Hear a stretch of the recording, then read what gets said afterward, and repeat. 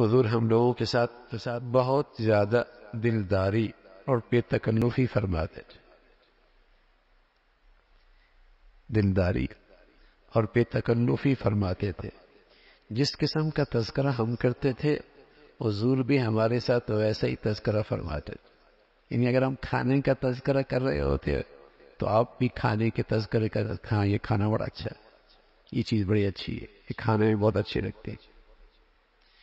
और अगर हम दुनिया की बात कर रहे होते तो आप भी हमारे साथ दुनिया की बात करते। और अगर हम आखरत की बात करते तो आप हमारे साथ आखरत की बातें करना शुरू कर यानी ये नहीं कि आप बस आखरत की बात कर रहे हो और कोई साथी कोई खाली खाने की, पीने की बात कर रहे हो तो आप नागवारी महसूस कर रहे हो। ऐसा नहीं। ये तकल्लुफी थी, दिलदारी थी ख्याल रखा जाता था अहल मजलिस का अहल महफिल का।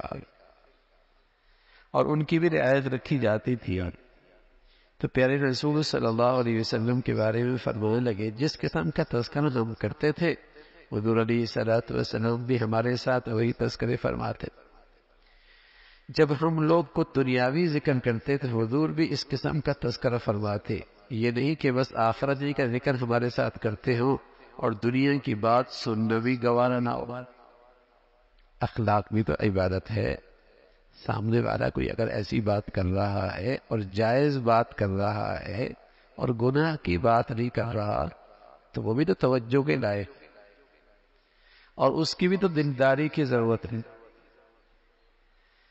और जिस वक्त हम आखरत की तरफ़ मुतवजह होते तो हजूर अली सलाम आखरत के तस्करे फरमाते यानी जब आखरत में कोई तस्करा शुरू हो जाता तो इसी के हालात और तफसीलात प्यारे रसूल सल्लल्लाहु बयान फरमाते।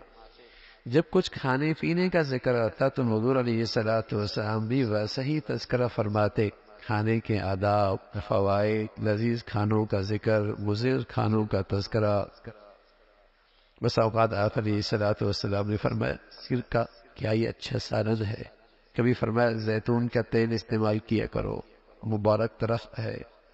इस किस्म के तस्करे आप ये सलात वसलाम की ज़िंदगी में मिलते हैं। खाने की भी तारीफ़ फरमा रहे खाने के फ़वाद भी बयान फरमा रहे